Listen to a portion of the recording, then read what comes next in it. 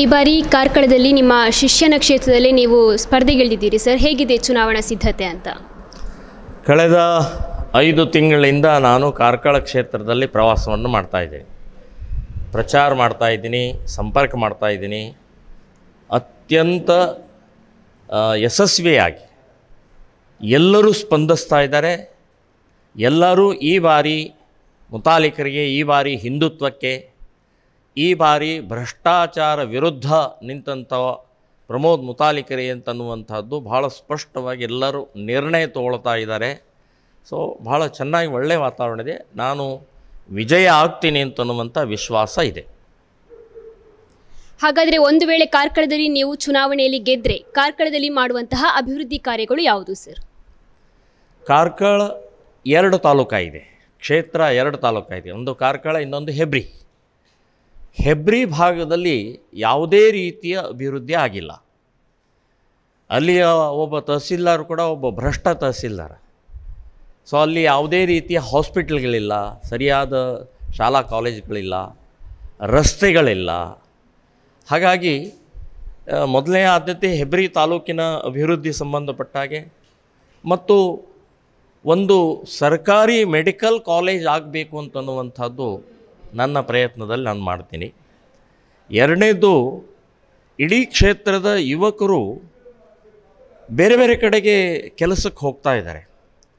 So, ಆ ಕ್ಷೇತ್ರದ ಯುವಕರಿಗೆ ಅಲ್ಲೇ ಅವರಿಗೆ ಕೆಲಸ ಸಿಗಬೇಕು ಅಂತನ್ನುವಂಥ ದೃಷ್ಟಿಯಿಂದ ಬೇರೆ ಬೇರೆ ರೀತಿಯ ಇಂಡಸ್ಟ್ರಿಗಳನ್ನು, ಉದ್ಯಮಿಗಳನ್ನು ತರುವಂಥದ್ದನ್ನು ನಾನು ನಿರ್ಧಾರ ಮಾಡಿದ್ದೀನಿ. ಸೊ, ಈಗ ಸದ್ಯಕ್ಕಂತೂ ಈ ವಿಷಯಗಳನ್ನು ನಾನು ಯೋಚನೆ ಮಾಡಿದ್ದೀನಿ. ಇನ್ನು ಮುಂದಿನ ದಿನಗಳಲ್ಲಿ ಇನ್ನೂ ಕೆಲವೊಂದು ವಿಷಯಗಳನ್ನು ಹೇಳ್ತೀನಿ.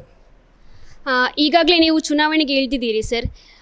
ಸುನಿಲ್ ಕುಮಾರ್ ಅವರು ಕೂಡ ಕಣಕ್ಕಿಳಿದಿದ್ದಾರೆ. ಹಾಗಿರುವಾಗ ಇದು ನಿಮ್ಮಿಬ್ಬರ ಒಂದು ಚುನಾವಣಾ ಯುದ್ಧ ಏನು ಅಂತ ಹೇಳ್ತೇವೆ. ಅದರಿಂದಾಗಿ ಮೂರನೇವರಿಗೆ ಲಾಭ ಆಗುವ ಚಾನ್ಸಸ್ ಏನಾದರೂ ಇದೆಯಾ ಅಂತ? ಅಲ್ಲಿ ಕಾಂಗ್ರೆಸ್ ಇಲ್ಲೇ ಇಲ್ಲ.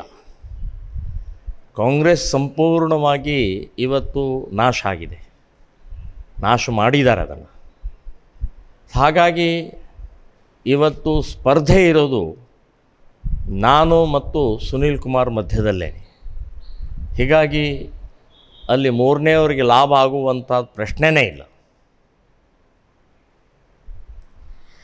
ಹಾಗಾದರೆ ಸರ್ ಈಗ ಕಾ ಮೊನ್ನೆ ಸುನೀಲ್ ಕುಮಾರ್ ಅವರು ಒಂದು ಮಾಧ್ಯಮದಲ್ಲಿ ಹೇಳಿಕೆಯನ್ನು ಕೊಟ್ಟರು ಅಂತ ನೀವು ಹೇಳಿದ್ರಿ. ಹಾಗಾದರೆ ಈಗ ನೀವು ಮುಸ್ಲಿಮರ ಬದ್ಧ ವಿರೋಧಿಯ? ಮುಸ್ಲಿಂ ವಿರೋಧಿ ಅಲ್ಲ. ಇಸ್ಲಾಂ ವಿರೋಧಿ ನಾನು. ಮುಸ್ಲಿಮ ಭಾಳ ಒಳ್ಳೆಯವನಿದ್ದಾನೆ. ಇಸ್ಲಾಂ ಭಾಳ ಡೇಂಜರಸ್ ಇದೆ. ಸೊ ಆ ಹಿನ್ನೆಲೆಯಲ್ಲಿ ನಾನು ಕೆಲಸ ಮಾಡ್ತಾ ಇದ್ದೀನಿ ವಿನಃ ಇನ್ನು ಯಾವುದೇ ರೀತಿ ಯಾರನ್ನೋ ವಿರೋಧ ಅಂತಲ್ಲ, ನನ್ನ ದೇಶ ಮುಖ್ಯ ನನಗೆ, ನನ್ನ ಧರ್ಮ ಮುಖ್ಯ ನನಗೆ, ಹಿಂದೂಗಳ ಮುಖ್ಯ ನನಗೆ. ಸೊ ಹಿಂದೂಗಳ ಉಳಿವಿಗೋಸ್ಕರ ನಾನು ಸ್ಪರ್ಧೆ ಮಾಡ್ತಾ ಇದ್ದೀನಿ ಅಂತನ್ನುವಂಥದ್ದು ಹೇಳ್ತಾ ಇದ್ದೀನಿ.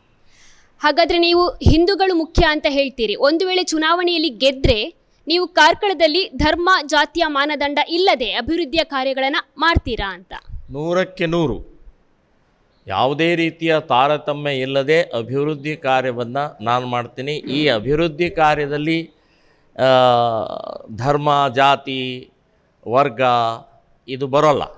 ಸೊ ಎಲ್ಲರನ್ನೂ ಸಮಾನವಾಗಿ ಅಭಿವೃದ್ಧಿ ತರುವಂಥದ್ದು ನೂರಕ್ಕೆ ನೂರು ನಾ ಮಾಡ್ತೀನಿ ಅಂತನ್ನುವಂಥದ್ದು ಹೇಳ್ತೀನಿ. ಹಾಗಾದರೆ ಮುಸ್ಲಿಂ ಧರ್ಮದವರ ಏಳಿಗೆಗೆ ಕೂಡ ಮುತಾಲಿಕ್ ಅವರು ಒಂದು ವೇಳೆ ಗೆದ್ದರೆ ಶ್ರಮಿಸ್ತಾರೆ. ಎಸ್ ಅದು ಕೂಡ ಇದೆ. ಅವರು ಅದರಲ್ಲಿ ಬಂದರು. ಹಾಗಾದರೆ ಕೊನೆಯದಾಗಿ ವೀಕ್ಷಕರಿಗೆ ಏನು ಹೇಳಲಿಕ್ಕೆ ಇಷ್ಟಪಡ್ತೀರಾ ಸರ್ ಅಂದರೆ ಮತದಾರರಿಗೆ. ಕಾರ್ಕಳ ಕ್ಷೇತ್ರದ ಮತದಾರರಿಗೆ ನಾನು ವಿನಂತಿ ಮಾಡ್ತಾ ಇರುವಂಥದ್ದು ಬಿ ಜೆ ಪಿ ವಿರುದ್ಧ ನನ್ನ ಹೋರಾಟ ಅಲ್ಲ. ಮೋದಿ ಪರವಾಗಿ. ಯೋಗಿಯ ಮಾದರಿಯಲ್ಲಿ ಆ ಕ್ಷೇತ್ರವನ್ನು ಡೆವಲಪ್ಮೆಂಟ್ ಮತ್ತು ಹಿಂದುತ್ವ ಎರಡೂ ಒಟ್ಟಿಗೆ ತೊಗೊಂಡು ಹೋಗಬೇಕು ಅಂತ ಹೇಳಿ ನಾನು ಕಾರ್ಕಳ ಕ್ಷೇತ್ರದಲ್ಲಿ ಆ ಮಾದರಿಯಲ್ಲಿ, ಅಂದರೆ ಆ ಯೋಗಿ ಮಾದರಿಯಲ್ಲಿ ಆಚರಣೆಯನ್ನು ತರ್ತೀನಿ. ಭ್ರಷ್ಟತೆಯ ಅತ್ಯಂತ ತುತ್ತು ತುದಿ ತಲುಪಿದಂಥ ಈ ಭ್ರಷ್ಟ ವಿರೋಧಿಗಳನ್ನು ಮೆಟ್ಟಿ ಹಾಕಬೇಕಾಗಿದೆ. ಭ್ರಷ್ಟ ರಹಿತ ಕಾರ್ಕಳವನ್ನು ನಿರ್ಮಾಣ ಮಾಡ್ತೀನಿ, ನನಗೆ ಬೆಂಬಲಿಸಿ, ನನಗೆ ಸಹಕರಿಸಿ ಅಂತನ್ನುವಂಥದ್ದು ನಾನು ವಿನಂತಿಯನ್ನು ಮಾಡ್ತಾಯಿದ್ದೀನಿ ಓಕೆ, ಕೊನೆಯ ಒಂದು ಪ್ರಶ್ನೆ ಸರ್. ನೀವು ಕ- ಕಾರ್ಕಳದಲ್ಲಿ, ಅಂದರೆ ನೀವು ಸ್ಪರ್ಧೆಯನ್ನು ಮಾಡ್ತಾ ಇದ್ದೀರಾ ಈಗಾಗಲೇ. ಹಾಗಿರುವಾಗ ಈಗ ನೀವು ಮುಸ್ಲಿಮರ ಅಭಿವೃದ್ಧಿಯನ್ನು ಕೂಡ ಮಾಡ್ತೇನೆ ಅಂತ ನೀವು ಈಗಾಗಲೇ ಹೇಳಿದ್ರಿ. ನೀವು ಮೂಲತಃ ಕರಾವಳಿಗರು ಅಲ್ಲದಿದ್ದರೂ ಕೂಡ ನೀವು ಕಾರ್ಕಳಕ್ಕೆ ಬಂದು, ಅದರಲ್ಲೂ ನಿಮ್ಮ ಶಿಷ್ಯನ ಕ್ಷೇತ್ರಕ್ಕೆ ಬಂದು ಸ್ಪರ್ಧಿಸಲಿಕ್ಕೆ ಮೂಲವಾದ ಉದ್ದೇಶ ಅಥವಾ ಕಾರಣ ಏನು ಅಂತ? ನೋಡಿ, ಕರಾವಳಿಯವರು ಮಾತ್ರ ಕರಾವಳಿಯಲ್ಲಿ ಸ್ಪರ್ಧೆ ಮಾಡಬೇಕು ಅನ್ನುವಂಥದ್ದು ಇದು ಹೇಳಿಕೆನೇ ತಪ್ಪಿದು. ಇವತ್ತು ಸದಾನಂದ ಗೌಡರು ಬೆಂಗಳೂರಿನಲ್ಲಿ ಸ್ಪರ್ಧೆ ಮಾಡ್ತಾ ಇದ್ದಾರೆ. ಕರಾವಳಿಯವರು ಬೇಕಾದಷ್ಟು ಎಲ್ಲ ಕಡೆಯೂ ಇದ್ದಾರೆ. ಮತ್ತು ಎಲ್ಲ ಇಡೀ ರಾಜ್ಯನೂ ಎಲ್ಲರದು ಒಂದು ಸ್ವಾತಂತ್ರ್ಯ ಇರುತ್ತೆ, ಎಲ್ಲರಿಗೂ ಹಕ್ಕಿರುತ್ತೆ ಹಾಗಾಗಿ ಇಲ್ಲಿ ಸ್ಪರ್ಧೆ ಮಾಡಬಾರ್ದು, ಅಲ್ಲಿ ಸ್ಪರ್ಧೆ ಮಾಡಬಾರ್ದು ಅಂತ ಅನ್ನುವಂಥದ್ದು ಪ್ರಶ್ನೆನೇ ಒಂಥರ ವಿಪರ್ಯಾಸ ಅಂತ ಹೇಳ್ತೀನಿ. ಇನ್ನು ಕಾರ್ಕಳದಲ್ಲಿ ಅಭಿವೃದ್ಧಿಗೋಸ್ಕರ ಭ್ರಷ್ಟಾಚಾರ ವಿಪರೀತ ಆಗಿದ್ದರಿಂದ ಭ್ರಷ್ಟರಹಿತ ಒಂದು ಕ್ಷೇತ್ರ ಮಾಡಬೇಕಾಗಿದೆ. ಹಿಂದೂ ಕಾರ್ಯಕರ್ತರಿಗೆ, ಹಿಂದೂ ಸಂಘಟನೆಗಳಿಗೆ ಭಾಳಷ್ಟು ನೊಂದು, ಬೆಂದು ಇವತ್ತು ಅಪಾಯದ ಸ್ಥಿತಿಯಲ್ಲಿದ್ದಾರೆ.